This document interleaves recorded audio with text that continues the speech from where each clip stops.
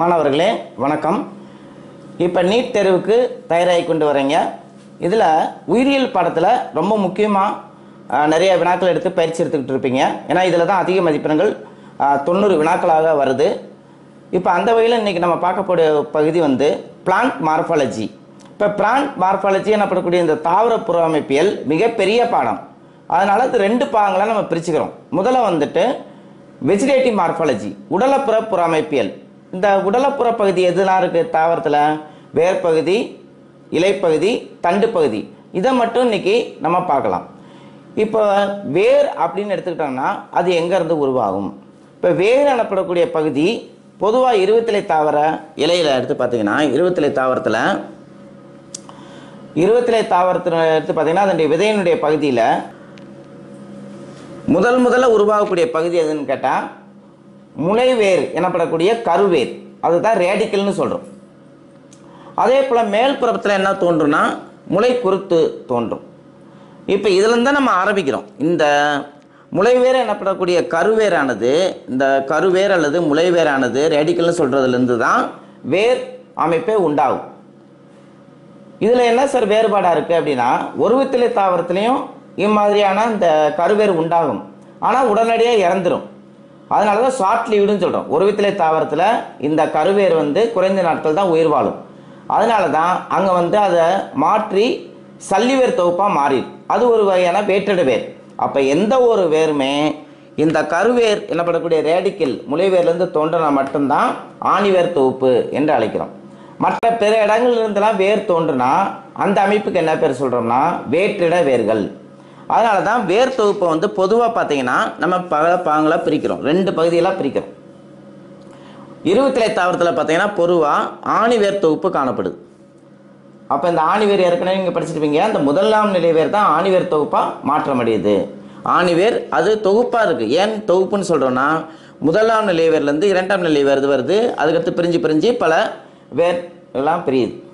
இப்போ இதுலேருந்து ஒரு வினா கேட்குறாங்க இந்த பக்கவாட்டு வேர்கள்லாம் எங்கேருந்து தோன்றுதுன்னா இந்த முதிர்ச்சியடைந்த பகுதியை வெட்டுத்தோட்டம் எடுத்து பார்த்தீங்கன்னா உள்ள பெரிசைக்கிள் எனப்படக்கூடிய பகுதி காணப்படுது. அந்த வேருடைய உள்புறமான பெரிசைக்கிலேருந்து பக்கவாட்டு வேர்கள் தோன்றதுனால தான் வேர்கள் எல்லாமே அகத்தோன்றியல் அப்படிங்கிறோம். அப்போ அகத்தோன்றியல்னா அகம்னா உள்ளே இருந்து தோன்றுது. அகத்தோன்றியல். அப்போ வேர்கள்னாவே அகத்தோன்றியல் என்ன அழைக்கிறோம் அதான் எண்டோஜீனஸ் இன் ஆரிஜின் அப்படின்னு சொல்லுவாங்க. இப்போ மற்ற வேர்கள் சொன்னாலே அந்த சல்லிவேர் தொகுப்பு. இந்த சல்லிவேர் தொகுப்பு பார்த்தீங்கன்னா எல்லாமே ஒரே அளவுடையதாக இருக்கும். எந்த விதமான வேறுபாடுகளாக இருக்காது. ஒரே சமமான அளவுள்ளதாக இருக்கும். இப்போ இது பார்த்தீங்கன்னா உருவத்திரை தாவரத்துக்கே உருத்தானது என்னன்னு கேட்டிங்கன்னா இந்த சல்லிவேர் தொகுப்பு. இந்த சல்லிவேர் தொகுப்பு நம்ம ஏன் வேற்றிட வேர்கள் அப்படின்னு சொல்கிறோன்னா முத முதல்ல எங்கேருந்து தோன்றும்னா முளைவேர்லேருந்து தான் தோன்றும். ஆனால் உடனடியாக இறந்துறதுனால ஒரு தாவர தண்டனுடைய அடிப்புற கணுப்பகுதியிலேருந்து தோன்றும். அதனால தான் இந்த சல்லிவர்கள்லாம் வேற்றிடவேர்கள் என நம்ம அழைக்கிறோம். இப்போ பொதுவாக பார்த்தீங்கன்னா இந்த வேருடைய முக்கியமான பணி என்னன்னா இரண்டு முக்கியமான பணிகள். தாவரத்தை தாங்கக்கூடிய பணி நல்ல ஆங்கரேஜ் கெட்டியாக பிடித்துக்கொள்வது இரண்டாவது முக்கியமான பணி நீர் மற்றும் கனிமப் பொருட்களை மண்ணிலிருந்து உறிஞ்சி எடுக்கிறது. இப்போ அதனால தான் வேடிக்கையாக சொல்லுவோம். எங்கேயாவது நீங்கள் புல் வேரோடு சாய்ந்தது அப்படின்னு நியூஸ் பார்த்துருக்கீங்களா? மரம் வந்து வேரோட சாய்ந்தது அப்படின்னு நியூஸ் நிறையா பார்த்துருப்பீங்க. அதுலேருந்து நமக்கு என்ன தெரியுதுன்னா இந்த ஆணிவேர் தொகுப்பை காட்டிலும் சல்லிவேர் தொகுப்பு அந்த ஆங்கரேஜ் அந்த பிடித்தல் தன்மையில் ரொம்ப ஸ்ட்ராங்காக இருக்கும். ஒரு புள்ள பிடுங்கிறது முழுமையாக பிடுங்கிறது ரொம்ப கஷ்டமாக இருக்கும். அதுலேருந்து எது ரொம்ப ஸ்ட்ரென்த்துனா இந்த சல்லிவேர் தொகுப்பு தான் ரொம்ப கடினத்தன்மையை உள்ளதாக காணப்படுது. வேருடைய அமைப்பு எப்படிலாம் காணப்படும்? அதனுடைய முக்கியமான பணி. இதைத்தான் நீ- நீட் தேர்வில் என்ன செய்யலாம் பட்டியலிடுவாங்க. ஒரு வேர்னு எடுத்துக்கிட்டிங்கன்னா மண்ணுக்கு அடிப்பகுதியில் காணப்படுது. அது அகத்தோண்டியில் காணப்படும். ஏற்கனவே சொன்னால் அகத்தோண்டியில் காணப்படும். பச்சையமற்றவை. கணுப்பகுதி கிடையாது. கணு உடைப்பகுதி கிடையாது. இப்போ இதெல்லாம் வரிசையாக கொடுத்துருப்பாங்க. சரியாக தவறான்னு. நீங்கள் இந்த வேருக்கே உரித்தான பண்புகளை டிக் பண்ணணும். அப்போ பசங்களுக்கு கிடையாது. அதான் பச்சையம் கிடையாது. அதுக்கடுத்து கணுப்பகுதி கிடையாது கணுவுடை பகுதி காணப்படாது. அதுக்கடுத்து மிக மிக முக்கியமான அமைப்புன்னு பார்த்தீங்கன்னா பல்வேறாக கிளைகள் விட்டு காணப்படும். ஆனால் இந்த கிளைகளுக்கெல்லாம் பேர் இரண்டாம் நிலை வேர்கள் அதுக்கடுத்து பல கிளைகளாக விட்டுட்டு போகுது. அதுக்கடுத்து ஒரு தாவரத்தினுடைய வேரனுடைய பகுதிகள்லாம் என்னென்ன இருக்கும்? அப்படின்னு பார்த்தீங்கன்னா தாவர பகுதியில் இந்த வேருடைய பகுதியில் எடுத்துக்கொண்டோம்னா வேரனுடைய நுனிப்பகுதி மிக மிக முக்கியமான பகுதி. இந்த வேர் நுனிப்பகுதி முக்கியமாக இருக்கிறதுனால அதை பாதுகாக்கிறதுக்காண்டி வேர் மூடி காணப்படும். வேர் மூடி. இதான் முக்கியமான பகுதி. இப்போ வேர் மூடி சாதாரணமாக ஒன்று இருக்கும். சில தாவரங்கள் பேண்டனாஸ் அதாவது தாளம்பூ. இந்த மாதிரி தாவரத்தில் பார்த்தா பல அடுக்குகளால் காணப்படும். இந்த வேர் தொப்பி வந்து வேர் தொப்பி வந்து எப்படி இருக்கு? பல அடுக்குகளால் அந்த வேர் முனை காணப்படும். அப்போ பேண்டனாஸ் எனப்படக்கூடிய இதில் மட்டும்தான் இந்த வேர் தொப்பியானது பல விதமான அடுக்குகளால் ஆக்கப்பட்டிருக்கும். அப்போ அடுத்து இந்த வேர் முனையனுடைய பகுதியில் என்ன நடக்கும் அப்படின்னா செல் பிரிதல் நடைபெற்று கொண்டே இருக்கும். அதான் மைட்டாசிஸ் அதனால தான் செல் பிரிதல் பகுதி அப்படின்னு சொல்கிறோம் இந்த முதல் பகுதிக்கு என்ன பேர்னா செல் பிரிதல் பகுதி. அதுக்கு அடுத்துள்ள பகுதி பக்கத்தில் இருக்கக்கூடிய பகுதிக்கு செல் பெரிதாதல் பகுதி செல் பெரிதாகும் செல்லு வ- வளர்ச்சி அடைய வளர்ச்சி அடைய அந்த பிரிதல் நடைபெற நடைபெற மைட்டாசிஸ் மூலமாக செல் பிரிதல் நடக்கணும்னா ஏன்னா இது வந்து ஆக்கு திசுகளாக இருக்குது நுனிப்பகுதியில் ஆக்கு திசுகள் மெரிஸ்டமாக இருக்குது அப்போ அதனுடைய தன்மை என்னன்னு கேட்டால் மெரிஸ்டம் ஆக்கு திசு தன்மை. அதுக்கு அடுத்து இதுக்கு அடுத்து மூன்றாவது பகுதி பார்த்தீங்கன்னா இதுதான் முதிர்ச்சி அடைந்த பகுதி. அப்போ இந்த முதிர்ச்சி அடைந்த பகுதியில் மட்டும்தான் எது காணப்படும்னா ஒரு செல்லாலான வேர் தூவிகள் காணப்படலாம். முதிர்ச்சி அடைந்த பகுதியில் மட்டும்தான் காணப்படும். அப்போ இந்த படத்தை கொடுத்துருவாங்க. இந்த பகுதியெலாம் கொடுத்துருவாங்க. ஏ இது பி இது சி இது டி. அப்புறம் இது இ அப்படி கொடுத்துருவாங்க. அப்போ இ e பார்க்கணும். வேர் எந்த பகுதி வருது? ரெண்டு ஆப்ஷனில் வேர் தூவி இருந்தால் ரெண்டை நீங்கள் கழிச்சிடணும். மிச்சம் இருக்கிற ரெண்டு கொஸ்டினில் கவனம் செலுத்தணும். அதில் இந்த ஏ பகுதி என்ன இருக்குது? இதை வந்து செல் பிரிதல் பகுதி அல்லது மெரிஸ்டமேட்டிக் பகுதி அல்லது ஆக்கத்திசு பகுதி அப்படின்னு எப்படினாலும் உங்களை குழப்பி கொடுத்துருக்கலாம். அதை நீங்கள் தெளிவாக கண்டுபிடிச்சிங்கன்னா சரியான விடையை நீங்கள் கண்டுபிடிச்சிடலாம். இப்போ வேர் வந்து ஏற்கனவே சொன்ன ரெண்டு முக்கியமான பணியை மேற்கொள்ளுது ஒன்று வந்து அந்த மரத்தை வந்து தாங்கக்கூடிய பணி இரண்டாவது நீர் மற்றும் கனிமங்களை உறிஞ்சிற பணி. இது போக வேறு பல பணிகளுக்காகவும் வேறு வந்து மாற்றுரு அடைந்துள்ளது. அதனால தான் மாடிஃபிகேஷன்ஸ் ஆஃப் ஃப்ரூட்ஸ்னு சொல்கிறோம் நல்லா கவனிங்க. ஆணி வேரும் மாற்றுரு அடைந்திருக்கலாம். சல்லி வேரும் அல்லது வேட்டட வேர்களும் மாற்றுரு அடைந்திருக்கலாம். இப்போ ஆணி வேர் எப்படிலாம் மாற்றுரு அடைந்திருக்கு? முக்கியமாக பார்த்தீங்கன்னா சேமித்தல் பணிக்காக மாறி காணப்படலாம். எடுத்துக்காட்டு பார்த்தீங்கன்னா பீட்ரூட்டில் இவ்வாறு காணப்படும். பம்பர வடிவத்தில் காணப்படும். இதுதான் எபெக்ஸ் பகுதி முன்பகுதி இது வந்து அடிப்புற பகுதி. அப்போ இந்த அடிப்புற பகுதியானது பருத்து காணப்படுது. பம்பர வடிவத்தில் காணப்படும். இது வந்து எப்பயுமே சொல்கிறோன்னா பீட்ரூட் அப்படின்னு கொடுக்க மாட்டாங்க. அப்போ பீட்டா வல்காரிஸ் மாணவர்களுக்கு அதை தான் அடிக்கடி சொல்கிறேன் தாவரவியல் பெயர்களை வரிசையாக பட்டியலிட்டு எங்கெங்கெல்லாம் எடுத்துக்காட்டு வருதோ அதுதான் நீங்கள் கவனம் செலுத்தி படிக்கணும். ஏற்கனவே அன்றைக்கி ஒரு நாள் சொன்னேன் பைரஸ் அப்படின்னா பேரிக்கா ஸ்க்ளேரைடுகளை அது மாதிரி எல்லா இதுலேயும் பார்க்கும் பொழுது பொட்டானிக்கல் நேம் தான் கொடுக்குறாங்க. நீங்கள் சாதாரண பெரிஞ்சு பேரை தெரிஞ்சு பிரயோஜனமே கிடையாது. அதனால் முயற்சி எடுத்து தாவரவியல் பெயரோடு அந்த எடுத்துக்காட்டுகளை படிங்க. இதில் பாருங்கள் பீட்ரூட்டுக்கு நாப்பிஃபார்ம் எடுத்துக்காட்டு உங்களுக்கு நல்லா தெரியும் ஹண்ட்ரட் பர்சன்ட்டு ஆனால் பீட்டா வல்காரிஸ் அப்படின்னு கொடுக்கும். அதே போல் டர்னிப் பிராசிகா ரெப்பானஸ் அப்படிங்கிறான் அந்த பிராசிகா ரெப்பா அப்படிங்கிறது தான் அந்த டர்னிப் இதுவும் என்ன தான் டர்னிப்பும் எடுத்துக்காட்டு. முதல்ல நிறைய மாணவர்களுக்கு இந்த பீட்ரூட் எடுத்துக்காட்ட தெரியும். இப்போ இந்த பிராசிகா ராப்பா டர்னிப்பும் இந்த நாப்பி ஃபார்ம் தான். அந்த பம்பர வடிவத்திலான ஒரு மாற்றுரு அதுக்கடுத்து பாருங்க. கூம்பு வடிவத்தில் காணப்படக்கூடியது. கேரட். கேரட்னு கொடுக்க மாட்டாங்க. ஆன்சர் எப்படி கொடுத்துருப்பாங்கன்னா டாக்கஸ் கரோட்டா அப்படின்னு கொடுத்துருப்பாங்க. இது கேரட் வந்து கூம்பு வடிவத்துக்கு எடுத்துக்காட்டு. அதுக்கடுத்து கதிர் வடிவம். பார்த்தீங்கன்னா ரெண்டு பக்கத்துலையுமே ஊசியாக காணப்படும். நடுவு மையத்தில் பருத்து காணப்படும். நெசவாளில் வந்து இந்த நெய்தலுக்கு வந்து நம்ம என்ன பண்ணி வச்சுருப்போம்னா ஒரு நூல் கண்டு வச்சுருப்போம். அதே போல் நடுவு மையத்தில் மட்டும் பருத்து காணப்படும். நூல் வந்து நடுவில் பருத்து காணப்படும். ரெண்டு பக்கமும் கூர்மையாக காணப்படும். இது ரேடிஸ். ரப்பானஸ் சட்டைவஸ் அப்படின்னு சொல்லும் இது மாதிரி பல்வேறு விதமான மாறுபாடுகள் பீட்ரூட்டு கேரட்டு அப்புறம் இந்த முள்ளங்கியில் பல்வேறு விதமான மாறுபாடுகள் எதுக்காண்டி இருக்குன்னா சேமித்தல் பணிக்காக மாற்றுரை அடைந்திருக்கு. இப்போ வேறு என்ன மாதிரிலாம் இந்த மா ஆணி வேரானது மாற்றூர் அடைந்திருக்கு? பொதுவாக பிச்சாபுரம் போன்ற இடங்கள்லாம் நீங்கள் போனீங்கன்னா அவிசினியா ரைசோபோரா போன்ற தாவரங்கள்லாம் நிறைய காணப்படும். அவ்வகையான தாவரங்களில் பார்த்தீங்கன்னா அந்த மரத்துக்கு பக்கத்தில் இருக்கிற வேர்கள்லாம் தரைக்கு மேலே வந்துருக்கும். ஏன்னா வேரினுடைய முக்கியமான பண்பே என்னது? தரைக்கு கீழே அந்த புவியீர்ப்பு நோக்கி செல்லக்கூடியது தான் அதனால தான் நேர் புவி நாட்டம் எதிர் ஒளி நாட்டம்னு சொல்கிறோம் ஆனால் இந்த வகையான வேர்கள் பார்த்தீங்கன்னா எப்படி காணப்படுது? புவி இருப்பு விசைக்கு எதிராக செயல்படுது. இந்த வகையான வேர்களுக்கு என்ன பேர் சொல்கிறாங்கன்னா சுவாச வேர்கள். சுவாச வேர்கள் சொல். அப்போ நல்லா கவனிங்க. இந்த வேர்கள் முழுமையாக என்ன பேர்னா நிமட்டோ போர்கள். நிமட்டோ போர்கள். நிமட்டோ போர்கள்னு வரணும். இந்த நிமட்டோ போர்களை தான் நம்ம சுவாச வேர்கள் அப்படின்னு சொல்கிறோம் ஆனால் இதில் நிறைய துளைகள் இருக்கும். நிறைய துளைகள் இருக்கும்.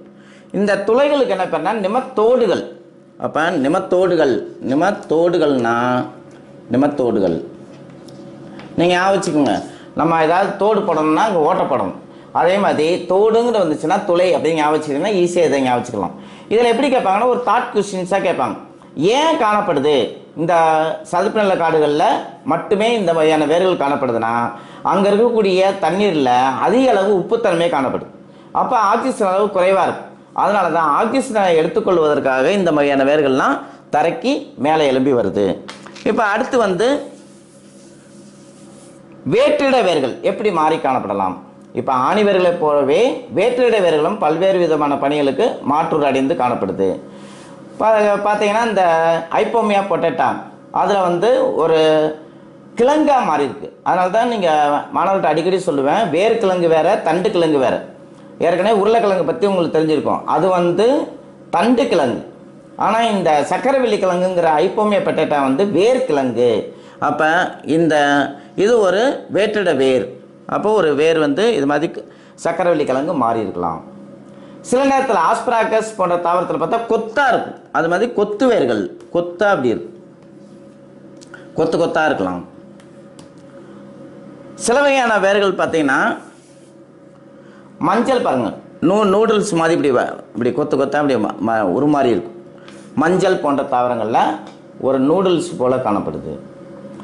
அதே போல் டீனோஸ்போரா போன்ற தாவரத்தில் பார்த்தீங்கன்னா வேரனுடைய பகுதியே கார்பன் டை ஆக்சைடை எடுத்துக்கொண்டு ஒளிச்சேர்க்கை செய்வதற்காக டீனோஸ்போரா போன்ற தாவரத்தில் ஒளிச்சேர்க்கை வேர்களாக மாறி காணப்படும். ஒளிச்சேர்க்கைக்காண்டி மாறி காணப்படுது.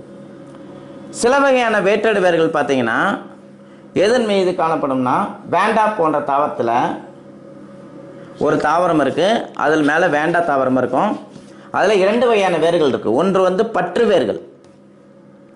மற்றொன்று கிளிங்கிங் அப்போ தொங்கிக் கொண்டிருக்கக்கூடியது. இந்த வேர்களில் பார்த்தீங்கன்னா அதனுடைய வெளிப்புற பகுதியில் ஒரு வகையான வெலாமன் எனப்படக்கூடிய சிறப்பு வாய்ந்த செல்கள் காணப்படும். இதுதான் ஸ்பாஞ்சி டிஷ்யூன்னு சொல்கிறோம் ஆர்க்கிடுகள் பொதுவாக ஆர்க்கிடுகள் எல்லாம் இது காணப்படுது. இந்த வகையான வேர்களுடைய முக்கியமான பணி என்னென்னா இந்த வேளாண்மனை பயன்படுத்தி கொண்டு தனக்கு வேண்டிய நீர் அந்த ஈரப்பசையை வந்து உறிந்து கொள்ளும் மழைக்காலங்களில் மழை நீரெல்லாம் எடுத்துக்கொள்ளலாம் சில தாவரங்களில் பார்த்தீங்கன்னா இந்த வேட்டையிடவர்கள்லாம் மொனிலி ஃபார்ம் அப்படி சொல்கிறாங்க மணி வடிவத்தில் காணப்படுது. எடுத்துக்காட்டு பார்த்தீங்கன்னா திராட்சையில் பார்த்தீங்கன்னா இது மாதிரி மொனிலி ஃபார்மாக இருக்கும். சில தாவரங்களில் பார்த்தீங்கன்னா ஆணுலேட்டட். ஆணுலேட்டடாக இருக்குது. இப்படி வளைய வளையமாக இருக்குது. இது மாதிரி சில தாவரங்களில் காணப்படலாம். அப்போ இந்த சைக்காட்ரிஸ் பண்ணுற தாவரத்துலலாம் இது மாதிரி காணப்படும் அப்போ பல்வேறு விதமான வகைகளில் ஆணிவேர் மட்டும் இல்லை இந்த மா வேற்றிட வேர்களும் ஒரு மாதிரி காணப்படுது. அடுத்து பார்த்திங்கன்னா இந்த ஆலமரத்தில் இருக்கக்கூடிய ஒரு மாறுபாடு அடிக்கடி கேட்கக்கூடியது. இந்த ஆலமரத்தில் ஆல விழுதுகள்லாம் பிரான்ச்சஸ்லேருந்து அப்படியே வரும் கீழே இறங்கி. இதான் நடு மையத்தில் இருக்கக்கூடிய மரமாக இருக்கும்.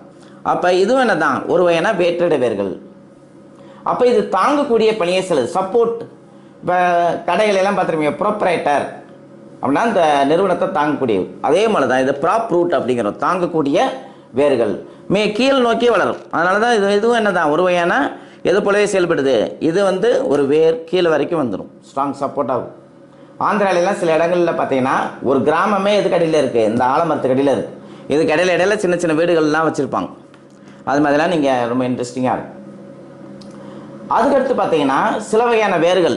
நீங்கள் கிராமங்களில் அந்த வயல்வெளிகளில் போனீங்கன்னு வச்சுக்கோங்க மக்காச்சோள தோட்டத்துக்குள்ளே போனீங்கன்னா அதனுடைய அடிப்புற கணுப்பகுதியிலேருந்து அல்லது கரும்பு தோட்டத்தில் போய் பார்த்தீங்கன்னா தெரியும் உங்களுக்கு. அடிப்புற பகுதியுடைய கணுப்பகுதியிலேருந்து ஸ்டில்ட் ரூட்டுகள் உண்டாகுது.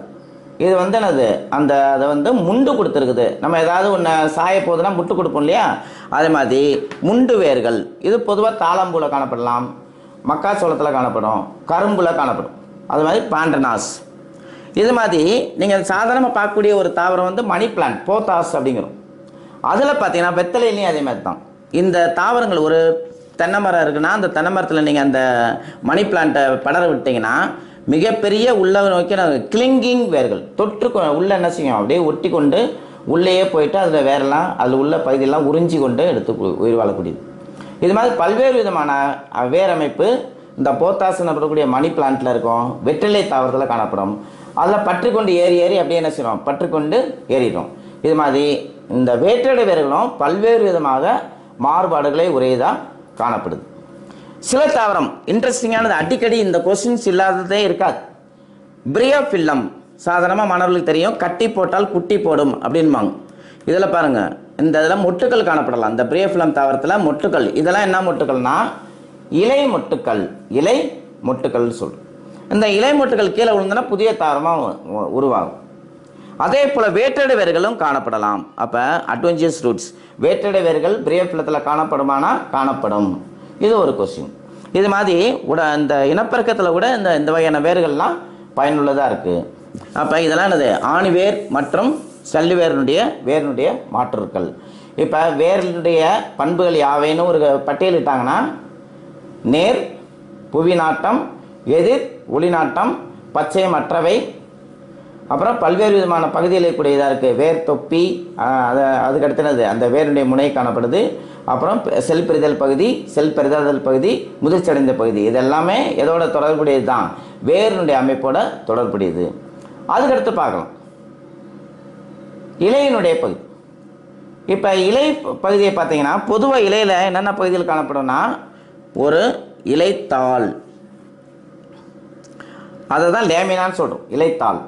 இலை காம்பு இலை காம்புன்னு சொல்கிறோம் இலை காம்புனா பீட்டியோல் அப்படின்னும் இலை காம்பு சில தாவரங்களில் இலை காம்பே இருக்காது. எடுத்து பார்த்தீங்கன்னா இந்த கலோட்ரோபீஸ் அப்படிங்கிற எருக்கம்பு எருக்கம்பு செடியில் பார்த்தீங்கன்னா அதுக்கு இருக்காது. இது இலைத்தாள்.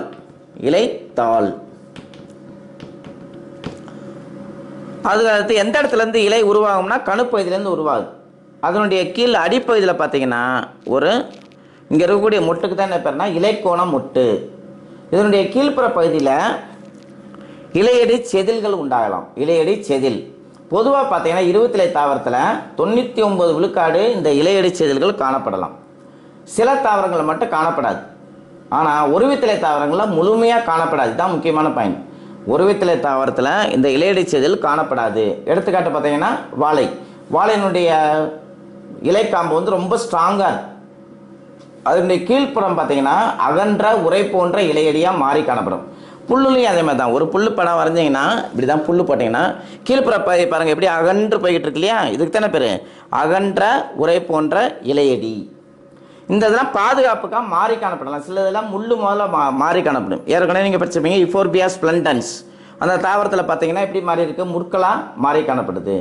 அப்போ இந்த ஸ்டிப்யூல்ஸ் எனப்படக்கூடிய ஜிஜிபஸ் ஜிஜுபா அதில் கூட என்ன நம்ம பார்க்குறோன்னா இந்த இலையை வந்து இப்படி மாறி காணப்படுது. அப்போ இலையில பார்த்தீங்கன்னா பல்வேறு விதமான மாறுபாடுகள் இருக்கலாம். இலையினுடைய பணிகள் பார்த்தீங்கன்னா முக்கியமாக ஒளிச்சேர்க்கை இரண்டாவது டிரான்ஸ்பிரேஷன் சொல்லக்கூடிய அந்த நீராவி போக்கு மூன்றாவது சுவாசம். இதில் எது முக்கியமான பணி அப்படின்னு கேட்டாங்கன்னா முக்கியமான பணி ஒளிச்சேர்க்கை தான் நீங்கள் ப்ரிஃபரன்ஸ் கொடுக்கணும். ப்ரியாரிட்டி வந்து ஒளிச்சேர்க்கைக்கு தான். அப்போ ஒளிச்சேர்க்கைக்கு முதல். ரெண்டாவது பார்த்தீங்கன்னா சுவாசம். மூணாவது பார்த்தீங்கன்னா நீராய்ப்போக்கு. இது மூணுமே இதனுடைய முக்கியமான பணிகள்? இலையினுடைய முக்கியமான பணி. இப்போ இலையிலே எப்படி இருக்க பல்வேறு விதமான மாறுபாடுகள் அடைந்து காணப்படலாம். இப்போ இலையில் பார்த்தீங்கன்னா என்னென்ன மாறுபாடுகள்லாம் இருக்குது பொதுவாக பார்த்தீங்கன்னா பில்லோடு இந்த கொஸ்டின்ஸ் தான் ரொம்ப முக்கியமானது. பில்லோடு அப்படின்னா என்னன்னு கேட்டிங்கன்னா அக்கேசியா போன்ற தாவரத்தினுடைய கீழ்ப்புற பகுதி இலை போல மாறி காணப்படலாம். இலை போல மாறி காணப்படுது. இவ்வாறு மாறி காணப்பட்டால் இந்த மாதிரி பகுதிக்கு என்ன பேர் சொல்லணும்னா பில்லோடு அப்படின்னு சொல்கிறோம் ஏன்னா குளிர்காலங்களில் இலைகள்லாம் அதில் கீழே உதிர்ந்துருது அப்போ ஒளிச்சேர்க்கை செய்வதற்காக இந்த பகுதியானது மாறி காணப்படுது. அக்கேசியா மெலனோக்சைலான் போன்ற தாவரங்களில் பில்லோடு காணப்படுது. அதே போல் இன்னொரு கேட்குறாங்க கிளாடோட் அப்படின்னா அஸ்பராகஸ் போன்ற தாவரத்தில் பார்த்தீங்கன்னா அஸ்பராகஸ் ஏற்கனவே படிச்சீங்கன்னா கொத்து கொத்தா அதனுடைய வேர் பகுதி காணப்படும். கொத்து வேர்களுக்கு அதை எடுத்துக்காட்டாக நம்ம படிச்சிருப்பீங்க. டாலியா அஸ்பராகஸ் இப்போ இந்த மாதிரி இருக்கக்கூடிய தாவரத்தில் பார்த்தீங்கன்னா அதே போல் இஃபோர்பியா திருக்கல்லி.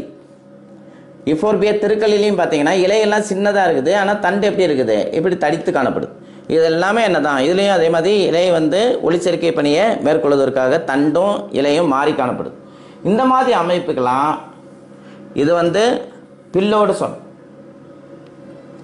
இது வந்து கிளாடோடு இந்த மாதிரி அமைப்புக்கு என்ன பேர் சொல்லணும்னா கிளாடோடு கிளாடோடு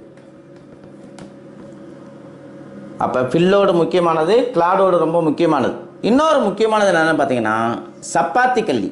இந்த சப்பாத்தி கல்லியில் பார்த்தீங்கன்னா இலைகள்லாம் எப்படி ஆயிருக்கு? முற்களாக மாறி காணப்படுது. இலையினுடைய அமைப்பு எப்படி இருக்கும்? முள்ளாக காணப்படும். இலையினுடைய ஒப்பனிசியா போன்ற தாவரங்களில் பார்த்தா வரல்நில தாவரம். இந்த வரல்நில தாவரத்தில் பார்த்தீங்கன்னா இலை எப்படி மாறி இருக்கு முற்களாக மாறி. தண்டு எப்படி மாறி இருக்குன்னா இலை போல மாறி காணப்படுது. இதுக்கு என்ன பேர் அப்படின்னா பில்லோ கிளாட் இதுக்கு என்ன பேர் சொல்கிறாங்க பில்லோ கிளாடு அப்போ இது இல்லாத கொஸ்டின்ஸே எதுவும் இருக்காது. இந்த பிரேஃபிலம் தொடர்பான வினாக்கள் ஆனால் கொஞ்சம் மாற்றி அமைச்சிருப்பாங்க. பிரேஃபிலம்னா இலை மொட்டுகள் காணப்பட்டது இன உடல் இனப்பெருக்கத்துக்கு பயனுள்ளதாக இருக்கும். வேற்றிடைவர்கள் காணப்படுது. அது வந்து அழகுக்காண்டி வளரக்கூடிய தாவரம். அதே போல தான் இந்த பில்லோடு பில்லோ கிளாடு கிளாடோடு ஆகியவற்றை குறித்து இலையில் வந்து வினாக்கள் அமையுது. இப்போ இலையில் வேற என்ன வினாக்கள்லாம் அமையும் சார்? அப்படின்னா இலை அமைவு. இலை வந்து எப்பயுமே கணுப்பகுதியில் அமைஞ்சிருக்கும். அப்போ ஒரு கணுப்பகுதியில் ஒரு இலை மட்டும் அமைஞ்சிருந்தா அதுக்கு என்ன பேர் சொன்னால் மாற்று இலை அமைவு. எடுத்துக்காட்டு நம்ம சாதாரணமாக பாலியால்த்தியா தாவரம். அதே போல் சில தாவரங்களை பார்த்தா ஒரு கணுப்பகுதியில் ரெண்டு இலை இருக்கும் இலையமைப்பில். இப்போ கொய்யா எடுத்து பார்த்தீங்கன்னா குவா அப்படியே ரெண்டு ரெண்டு இலையாக வந்து இருக்கும். இந்த மாதிரி அமைப்புடையதுக்கு என்ன பேர் சொல்கிறோம்னா எதிரிலை அமைப்பு ஆனால் எதிரியில் பார்த்தீங்கன்னா இதில் எப்படி இருக்குன்னா நீள் போக்கில் காணப்படுது இன்னொன்று பார்த்தீங்கன்னா குறுக்கு மறுக்கா இருக்கும். இப்போ எற்கம்பூவில் பார்த்தீங்கன்னா ஒரு இலையுடைய அமைப்பு இப்படி காணப்படும். அடுத்த ஜோடி வந்து இப்படி காணப்படும். அப்போ ஒரு பக்கத்து ஒரு ஒரு ஒரு ஜோடி இலைக்கு இன்னொரு ஜோடி இப்படி இருக்கும். செங்குத்தாக இருக்கும். இவ்வாறு காணப்பட்டால் இதழிலை அமைப்பு குறுக்கு மறுப்பு குறுக்கு மறுக்கு கலர் ட்ரோபிஸில் காணப்படுது. சில தாவரங்கள் நீரியம் போன்ற தாவரத்தில் எடுத்து பார்த்தா ஒரே கணப்பகுதியில் மூன்று இலைகள் காணப்படும். எத்தனை இலைகள் இருக்கும்? மூன்று இலைகள் காணப்படுது. அப்போ மூன்று இலைகள் காணப்பட்டால் மூவிலை அமைவு மூவிலை அமைவு அப்படி சொல்றோம். அப்போ ஒன்றுக்கும் மேற்பட்ட மூணு இலை இருக்குது மூணுக்கு மேலே ஒரு கனவுல இலை இருந்தால் அது என்னது? சுற்றி அமைந்தவை. எடுத்துக்காட்டு வேர்ல்டு டைப் அப்படி சொல்கிறோம் சுற்றி சுற்று அமைந்தவை. அமைப்பு. இப்போ அடுத்து மிக முக்கியமானது இங்கே கவனத்தில் கொள்ள வேண்டியது ஒரு இலை தனி இலை அப்படின்னா ஒரு இலைத்தாள் காணப்படுது. மையத்தில் அந்த மிட்ரிப்னு சொல்லக்கூடிய நடு மைய நரம்பு காணப்படும். இந்த மைய நரம்பில் பலவாறாக நம்ம பிரிக்கலாம். இப்போ பாருங்கள் மையத்தில் மைய நரம்பு அப்புறம் கிளைகள் விட்டு செல்லுது. இதுக்குள்ளே தான் சைலம் புலயம்லாம் காணப்படும். இது மாதிரி இருந்தால் வலைப்பின்னல் நரம்பமைவு அப்படின்னு அப்படி சொல்லும் அதே நேரத்தில் வாழை இலை புல் இதெல்லாம் எடுத்து பார்த்தீங்கன்னா அதனுடைய அமைப்பில் எப்படி அதை பார்த்தீங்கன்னா அந்த வாழை இலையினுடைய அமைப்புலாம் ஒரு அந்த அதில் இருக்கக்கூடிய அந்த மைய நரம்பு நடுவில் காணப்படுது. அப்புறம் பல நரம்புகள் வந்து கிளை விட்டு காணப்படுது. அப்போ இந்த நரம்பு அமையில் பார்த்தீங்கன்னா எப்படி காணப்படுது? பார்ப்பதற்கு பின்னா மாதிரி காணப்படுது. அதுதான் இரவு போல் காணப்படுது. அப்போ ஒன்றுக்கொன்று இணையாக காணப்படக்கூடியது. அதனால தான் இதுக்கான பிற இணைப்போக்கு நரம்பு அமைவு. இப்போ இதில் பல விதமான வகைகளில் காணப்படலாம். எடுத்துக்காட்டு பார்த்தீங்கன்னா ஒரே ஒரு ஒரு நரம்பமை வந்து விரிந்து செல்லலாம் அல்லது குவிந்து செல்லலாம். இப்போ பனைமரத்தில் எடுத்து பார்த்தீங்கன்னா அந்த இலையெல்லாம் எப்படி இருக்கு? விரிந்து செல்லுது. அதே போல் மூங்கிலில் பார்த்தீங்கன்னா குவிந்து செல்லுது. இது மாதிரி பல்வேறு விதமான வகைகளாக காணப்படலாம். அடுத்து முக்கியமானது இந்த இலை வந்துட்டு பார்த்தீங்கன்னா கூட்டிலை அப்படின்னு சொல்கிறாங்க இப்போ இது ஒரு தனியாக ஒரு இலை இருக்குது.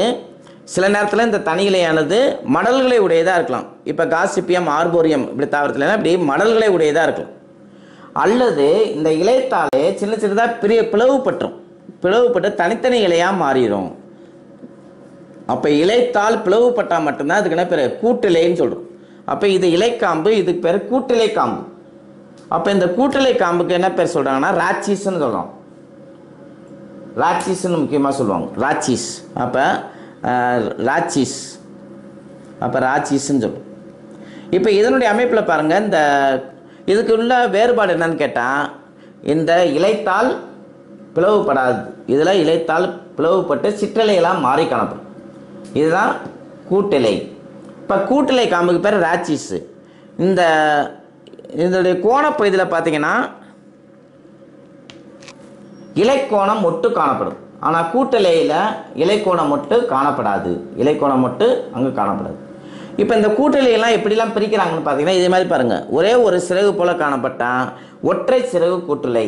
இப்போ ரெண்டு பக்கமாக இங்கே ஒரு சிறகு இருக்கும் இங்கே ஒரு சிறகு இருக்கும். அப்படி ரெண்டு சிறகுகள் காணப்பட்டால் இரண்டு பக்கமும் இருக்கக்கூடிய சிறகுலை இரட்டை சிறகு கூட்டலை. எடுத்துக்காட்டு அக்கேசியா போன்ற தாவரம் அதே மாதிரி மூணு தான் பிரிஞ்சிருக்கலாம். முருங்கை அந்த முருங்கை மர இலத்துலேயே பார்த்தோன்னா மூணு தான் பிரிஞ்சிருக்கும்.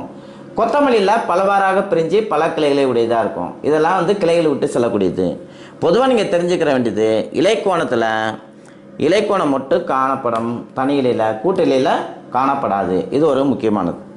அடுத்து பார்த்தீங்கன்னா இலையனுடைய பகுதிகளை எப்படிலாம் மாறி காணப்படும்? இப்போ பொதுவாக பார்த்தீங்கன்னா இலையின் என்னென்ன பகுதி சொன்னோம் நம்ம? இலை தாள் அப்புறம் இலை காம்பு இலையினுடைய அடிப்புற பகுதி இப்போ பேபேசி போன்ற தாவரத்தினுடைய இலை இதனுடைய அடிப்புற பகுதி பார்த்தீங்கன்னா பருத்து காணப்படலாம். இதில் ஒரு அதைப்பு காணப்படுது. புல்வைனஸ் அப்படிங்கிறோம். இது வந்து எதுக்குடைய முக்கியத்துவம்னா பேபேசி குடும்பத்துக்கு மட்டும்தான் இந்த மாதிரி உடையான அதைப்பு காணப்படலாம். அதுக்கடுத்து எப்படிலாம் மாறி காணப்படும்? ஏற்கனவே பிரியஃபிலத்தில் பார்த்தீங்க இலை மொட்டுகள் இருக்குது அதன் மூலமாக இனப்பெருக்க செய்யலாம். அங்கேயும் உங்களுக்கு இப்போ ஞாபகப்படுத்தினேன் பிரியஃபிலமில் இலை மொட்டுக்கள் உற்பத்தியாகும். அந்த இலை மொட்டுக்கள் கீழே விழுந்து புதிய தாவரத்தை உண்டாக்கும். அதே போல் உங்களுக்கு பரிச்சயமான தாவரம் நெப்பந்தஸ். பூச்சி உண்ணும் தாவரங்களுக்கு எடுத்துக்காட்டு கேட்டாங்கன்னா நெப்பந்தஸ் உட்ரிகுலேரியா ட்ருசீரா இதில் ஒன்றொன்றுக்கு சாதாரண பேர் தெரிவிச்சுக்கோங்க இப்போ உட்ரிகுலேரியா அப்படின்னா பை தாவரம் பிளாடர் வர்ட் அப்படிங்கிறோம். நெப்பந்தஸ் இந்த பூச்சி உண்ணும் தாவரத்துக்கு வந்து குடுவை தாவரம்னு சொல்கிறோம் பிக்சர் பிளான்ட் அப்படிங்கிறோம். அதே போல் ட்ரொசீரா சன்டியூ பிளான்ட் அப்படிங்கிற பனித்துளி தாவரம். இப்போ இந்த நெப்பந்தஸில் பார்த்தீங்கன்னா அதனுடைய இலைத்தாள் தான் எதா மாதிரி இருக்குது குடுவையாக மாறி காணப்படுது.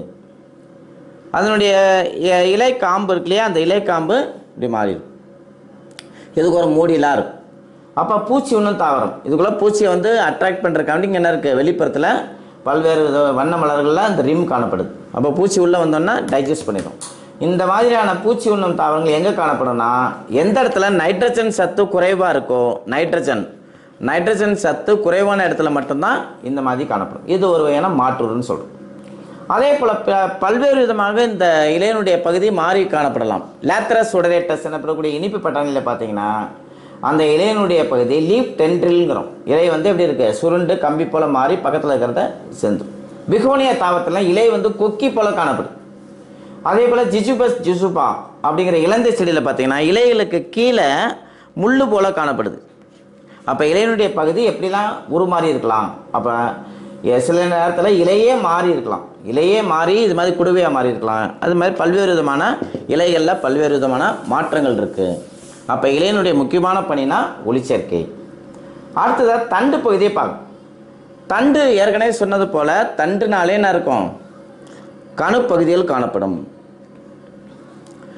க ரெண்டு கனவுக்கு இடைப்பட்ட பகுதி கனவு இடைப்பகுதி. கனவு பகுதி கனவு இடைப்பகுதி. இந்த பகுதி தான் கனவு அப்போ இரண்டு கனவுகளுக்கு இடையுள்ள பகுதி கனவு விடைப்பகுதி கனவு விடைப்பகுதி இதனுடைய நீட்சிக்கு தான் ஏற்கனவே படிச்சிருப்பீங்க. அந்த கனவுடைய பயிற்சிக்கு ஜிஏ ஜிஏ த்ரீ எனப்படக்கூடிய ஜிபிளின் ஹார்மோன்கள்லாம் இந்த இதில் காணப்படுது. நம்ம அனாட்டமியிலாம் படிச்சிருக்கீங்க அப்போ நீட்சி அடைதல் ஒருவித்திலை தாவரத்தில் தான் இந்த கணுவுடைய பகுதி நீட்சி அடைந்து காணப்படும். இப்போ இந்த இதனுடைய முக்கியத்துவம் என்ன? பச்சையம் காணப்படும். முதிர்ச்சி அடைந்த பிறகு தான் பழுப்பு நிறமாக மாறும். அதுக்கு அடுத்தது அந்த கணுப்பகுதி காணப்படும் கணுவிடை பகுதி காணப்படும். நுனிப்பகுதியில் பார்த்தீங்கன்னா டெர்னல் பட் அப்படிங்கிறோம் அப்போ நுனி மொட்டு காணப்படும். பக்கவாட்டில் இலை எங்கே தோன்றுதோ அங்கே வந்து பார்த்தீங்கன்னா பக்கவாட்டு மொட்டு காணப்படும். ஆக்சிலரி பட் இலை கோணம் மொட்டு. அப்போ இதெல்லாம் முக்கியமான எதுக்கு மட்டும்தான் உண்டான பண்பு? தண்டுக்கு மட்டுமே உண்டான பண்பு. இப்போ தண்டினுடைய கிளை பகுதியெல்லாம் எங்கேருந்து உண்டாகுதுன்னா வெளிப்புறம் இருந்தே உண்டாயிரும். அதனால தான் புறத்தோன்றிகள் என்று அழைக்கிறோம். தண்டு வந்து புறத்தோன்றிகள் வேறுனா அகத்தோன்றிகள். இப்போ இதனுடைய முக்கியமான பணி என்னென்னா கிளைகள் எல்லாம் தாங்குதல். அப்புறம் சேமித்து சேகரிக்கப்பட்ட உணவு அந்த இலையிலிருந்து பிற பாங்களுக்கு உணவினை எடுத்து செல்லுதல். இதெல்லாம் தண்டினுடைய முக்கியமான பணி. சில நேரங்களில் தண்டும் பல்வேறாக மாற்று உடல் அடைந்து காணப்படுது. பொதுவாக பார்த்தீங்கன்னா தரைக்கு கீழே உள்ள தண்டு. அதுதான் நிறைய கொஸ்டின்ஸ் கேட்குறாங்க குறிப்பாக பார்த்தீங்கன்னா தரைக்கு கீழே சில தண்டுகள் காணப்படலாம். எடுத்துக்காட்டு அந்த குமிலம் அதே போல் கிழங்கு வகை. பியூபர் அப்படின்னு சொல்கிறோம் இப்போ இந்த கிழங்கு வகையில் பார்த்தா மிகச்சிறந்த எடுத்துக்காட்டு உருளைக்கிழங்கு இதில் கண் போல பகுதி காணப்படுது. இதை தான் மொட்டுன்னு சொல்கிறோம் இந்த மொட்டு சாதாரண சூழ்நிலை வரும்போது பெரிய தாவரமாக முழு தாவரமாக வளர்ந்துடும் அதே போல் குமிழத்துக்கு எடுத்துக்காட்டு ரெண்டு எடுத்துக்காட்டு காணப்படுது. ஒன்று வந்து கார்லிக் எனப்படக்கூடிய அந்த பூண்டு இன்னொன்று வந்து வெங்காயம். அப்போ வெங்காயத்தில் வந்து செதில் இலைகள் காணப்படும். அதுக்கடுத்து மட்டங்களை தண்டு அப்படிங்கிற இஞ்சி. இப்போ இந்த இஞ்சினுடைய அமைப்பை பார்த்தீங்கன்னா எப்படினாலும் அதனுடைய அமைப்பு இப்படி இருக்கும். இதில் பார்த்தா கணுப்பகுதி கணுவுடை பகுதி கணுப்பகுதி கணுவுடை பகுதி அப்புறம் செதில் இலைகள் நுனி மொட்டு பக்கவாட்டு மொட்டு இதெல்லாம் இங்கே காணப்படுது. அதனால தான் மண்ணுக்கு அடியில் இந்த வகையான தாவரங்கள் இருந்தாலும் கூட ஏன் இதை வந்து தண்டு அப்படிங்கிறோம்னா இந்த இஞ்சி இந்த ரைஸோ மட்டனில் தண்டில் பார்த்தீங்கன்னா கணுப்பகுதி காணப்படுது. தான் கணுப்பகுதி. கணு உடைப்பகுதி காணப்படுது. நுனி மட்டும் காணப்படுது. பக்கவாட்டு மட்டும் காணப்படுது. இதெல்லாம் காணப்படுறதுனால தான் இதை வந்து இதனுடைய இதை வந்து ம- தண்டுன்னு சொல்கிறோம் அப்புறம் இதனுடைய பணி என்னன்னு கேட்டால் இது எல்லாமே மண்ணுக்கு அடியில் தான் இருக்கும் அப்புறம் சேப்பக்கிழங்கு. பெருசாக இருக்கக்கூடிய சேப்பக்கிழங்கு. அமர்போபில்லஸ் அல்லது குலக்கேசியா குரோக்கஸ் இது மாதிரி பல்வேறு விதமான தாவரங்கள்லாம் இது மாதிரி சேப்பக்கிழங்கு சேனைக்கிழங்கு வெத்தலை வெளி எல்லாமே இதுதானது.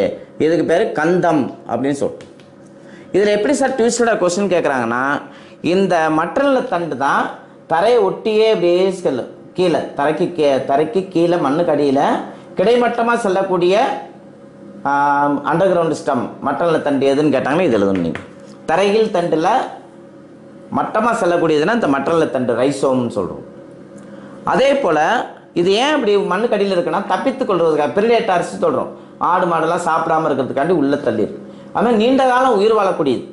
ஏன்னா உள்ளேயே இருக்குது. சாதகமான சூழ்நிலை வரும்போது மேலே எடுத்து வந்துடும் ட்ரை என்வரன்மெண்ட்டாக இருக்கும்போது காஞ்சி உள்ளே இருக்கும். அப்போ சாதகமற்ற சூழ்நிலை தப்பிக்கிறதுக்காண்டி உணவுப் பொருட்களை சேமித்து வைக்கிறதுக்காண்டி அதுக்கடுத்து ஆடு மாடுகள்லாம் மே மேய்ஞ்சிராமல் இருக்கிறதுக்காண்டி இது தப்பித்துக் கொள்வதற்காக. பல ஆண்டுகள் உயிர் வாழக்கூடியது. பெரணியல் சொல்கிறோம் இதெல்லாம் இதனுடைய முக்கியத்துவம். இப்போ நான்கு வகையாக இருக்குது கந்தம் அமரப்பபில்லஸ் அப்புறம் இதில் பார்த்தீங்கன்னா செதில் இலைகள் தண்டு பாருங்கள் சுருக்கு சுருக்கமடைந்து காணப்படுது அப்போ இதிலெல்லாம் எடுத்துக்காட்டுகள் கேட்கும் பொழுது நல்லா கவனிங்க சாதாரண பேர் கேட்க மாட்டாங்க. பொட்டேட்டோவில் சுலானம் டியூபரோசம் இது ஒரு டியூபர் உருளைக்கிழங்கு. இது அமர்பபில்லஸ் அந்த கருணைக்கிழங்கு சேப்பக்கிழங்கெல்லாம் குலக்கேசியா அமர்பபில்லஸ் குரோக்கஸ் இது மாதிரி தான் கேட்போம். அதே மாதிரி அல்லியம் சப்பா அல்லியம் சப்பா அல்லியம் சட்டைவம் அல்லியம் சட்டைவம் வந்து பூண்டு. இதுவும் ஒரு குமிழம் எடுத்துக்காட்டு. அதே மாதிரி அல்லியம் சட்டைவம். இது வந்து வெங்காயம். அதே போல் ஜிஞ்சியர் ஜிஞ்சிபெரா அபிசினாலிஸ்ன்னு சொல்லுவோம் ஜிஞ்சிபெரா அபிசினாலிஸ். அப்போ இது மாதிரி இருக்கக்கூடிய எடுத்துக்காட்டுகள்லாம் தாவரத்தண்டு மாறி இருக்கு. இப்போ தரைக்கு மேலேயே சில தண்டு பார்த்தீங்கன்னா மாறி இருக்கும். தரையினுடைய பகுதியை ஒட்டியே ஓடிக்கொண்டிருக்கும் சில தாவரங்கள். அதனுடைய இலைகள்லாம் இருக்கும் அப்படியே ஓடிக்கொண்டே இருக்கும். இந்த மாதிரி இருக்கிறதுக்கு ஓடுதண்டு அப்படிங்கிறோம். எடுத்துக்காட்டு ஆக்சாலிஸ். இந்த ஆக்சாலிஸ் போன்ற தாவரங்கள்லாம் அப்படியே என்ன செய்யும்? தண்டு கொஞ்சம் சிறிது தூரத்துக்கு போகும். அதுக்கடுத்து என்ன செய்யும்? புதிய ஒரு வேற்றிடவர்களை உண்டாக்கும். அதுக்கடுத்து திரும்ப உண்ட போகும். இப்படி தான் ஓடுதண்டு சில நேரங்களில் கிரைசாந்தம் போன்ற தாவரத்தில் ஒரு தாவர தண்டு உருவாயிருக்கும். அதிலிருந்து ஒரு கிளையத்தை விட்டுட்டு கீழே வரைக்கும் போகும். பாதி தூரம் தண்டானது கீழே போயிட்டு அப்புறம் மேலே வரும். இப்படி இருந்தால் தரைக்கீழ் ஓடுத்தண்டு சிறிது நேரம் மண்ணுக்கு அடியில் ஓடுது. அதனால இதுக்கு நம்ம தரைக்கீழ் ஓடுத்தண்டு எடுத்துக்காட்டு பார்த்தீங்கன்னா இதை வந்து ரன்னர்னு சொல்கிறோம் எக்ஸாம்பிள் கிரைசாந்திமம் அப்போ சில தாவரங்கள் தண்ணீரில் மிதந்துக்கிட்டு இருக்கு. பிஸ்டியா போன்ற எக்காரினா போன்ற தாவரத்தில் பார்த்தா வேர்பைகள்லாம் இங்கே காணப்படுது. அதில் வேர்பைகள் இருக்குது இதனுடைய மேற்புற பகுதியில் பார்த்தீங்கன்னா மிக குறுகிய தண்டு காணப்படும். ஒரு தாவரத்துக்கு இன்னொரு தாவரத்துக்கும் மிக குறுகிய கா இடையில இடைவெளி காணப்படும். இதுதான் ஆப்செட் அப்படிங்கிறோம். இதே போல் மண்ணில் இருந்ததுன்னா ஸ்டோலான் அப்படிங்கிறோம் இந்த ஸ்ட்ராபெரி போன்ற தாவரத்தில் இவ்வாறு காணப்படும் இது வந்து நீர் தாவரங்கள் ஐக்கோரினா போன்ற தாவரத்தில் இந்த ஆஃப்செட் எனப்படக்கூடிய குறுகிய தண்டு காணப்படும். இதை வந்து டிட்டாச் ஆயிடுச்சுன்னு வச்சுக்கோங்க. கீழே பிரிஞ்சிருச்சுன்னா முழு தாவரமாக மீண்டும் உருவாகும். அதனால் இந்த வகையான த தண்டுகள்லாம் இனப்பெருக்கத்துக்கும் பயனுள்ளதாக இருக்குது அதே போல் சில தாவரங்கள் தரைக்கு மேற்பகுதியில் மாறி காணப்படலாம். தரைக்கு மேலே வந்தபோது பார்த்தீங்கன்னா கிளிம்பர் இப்போ சூழ்ந்து கொண்டு ஏறி கொண்டு போகலாம். இது வந்து தரைக்கு மேலே உள்ள பல்வேறு விதமான மாற்றங்கள். ஏற்கனவே ஒன்று படிச்சீங்க. இலையினுடைய மாற்றம் அந்த தண்டு பகுதி எப்படி மாறி இருக்குன்னா மூணு இதுலேயும் நம்ம படிச்சுக்கிறோம். ஒன்று வந்து கிளாடோடு அப்படின்னோம். கிளாடோடு பார்த்தீங்கன்னா ஆஸ்பராகஸ் போன்ற தாவரங்கள்லேயும் அதே போல் இஃபோர்பியா திருக்கல்லி இஃபோர்பியா பேரினத்துலேயும் தண்டானது எப்படி மாறி இருக்கு இலை போல மாறி பணியை மேற்கொள்ளுது. இதுக்கு தான் கிளாடோடுன்னு சொன்னோம். கிளாடோடு. அதே போல் ஒப்பனிசியா போன்ற தாவரத்தில் தண்டு எப்படி இருக்குது இலை போல் மாறி காணப்படுது. தண்டானது இலை போல் மாறி காணப்படுது. அப்புறம் இலைகள்லாம் முள்ளா மாறி இருக்குன்னு படிச்சோம். இதுக்கு தான் பில்லோ கிளாட் அல்லது கிளோடோபில் அப்படின்னு சொல்கிறோம் அப்போ இது மாதிரி பல்வேறு விதமான தண்டனுடைய மாறுபாடுகள். இந்த தண்டனெல்லாம் பல்வேறு எப்படி மாறி இருக்குது தரைக்கு கீழே மாறுபடி இருக்குது தரையினுடைய மேற்பகுதியில் மாறி இருக்குது அதுக்கு அடுத்தது தண்ணீர்லேயும் மாறி காணப்படுது. அப்போ தரை மேல் தண்டு தரை மேலேயும் மாறி இருக்குது தரைக்கு மேலேயும் பல்வேறாக மாறி காணப்படுது. அப்படியே சூ சூழ்ந்து கொண்டு தண்டானது மெல்லிதாக இருக்கும். அதனால என்ன இருக்கும்? வேறு ஒரு தாவரத்தை தொட்டி கொண்டு மேலே ஏறக்கூடியதாக இருக்கும். அப்போ தண்டு பார்த்திங்கன்னா எப்பொழுதுமே பசுமையானது. முதிர் சிறந்த பிறகு தான் பழுப்பினரமாக மாறும். இப்போ தண்டுனாலே என்ன இருக்கணும்? கணுப்பகுதி இருக்கணும் கணுவுடைய பகுதி இருக்கணும். அப்புறம் செதில் இலைகள் காணப்படலாம். இந்த தண்டு வந்து எதாவது உருமாறுதுன்னு சொல்கிறாங்கன்னா மலரா உருமாறலாம் அப்படிங்கிறாங்க. ஏன்னா இதில் வந்து என்ன காணப்படுது? இந்த அமைப்பெல்லாம் காணப்படுதில்ல? நோடு இன்டர்நோட் கணுப்பகுதி கணுவிடை பகுதி.